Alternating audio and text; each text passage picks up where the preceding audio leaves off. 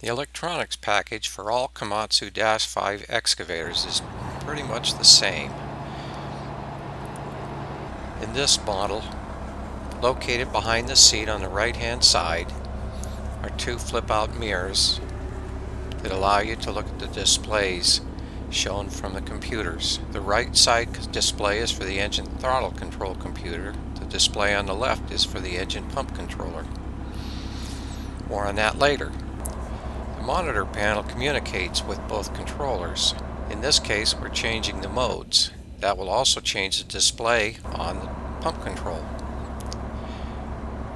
Cycling through it in the L mode. Go to the S3 mode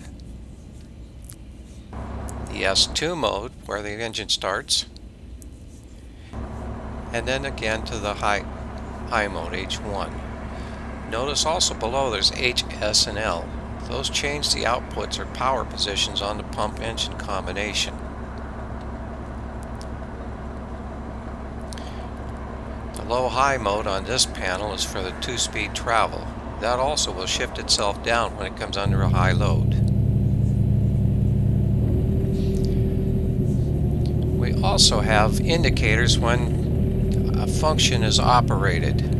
Pressure switches in the system tell the computer that something's being operated and it needs to change a setting or, or position. In this case, the boom is being lowered. Stick's being run out and back in and the bucket's being moved. All these would show a P2 signal on the pump controller. You're operating those things and that display doesn't show up, that tells you there's likely a problem in that switch or the wiring to it.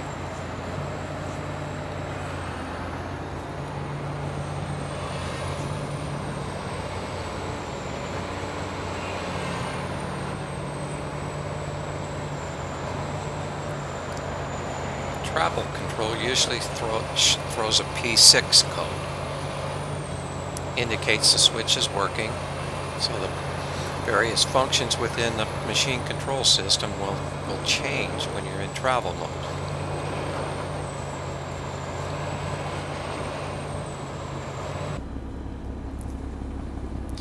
Machine does have diagnostics in the package. It's shown in the, this part. The 2.4 in there is a code indicating that a pump pressure sensor isn't working properly or isn't connected properly.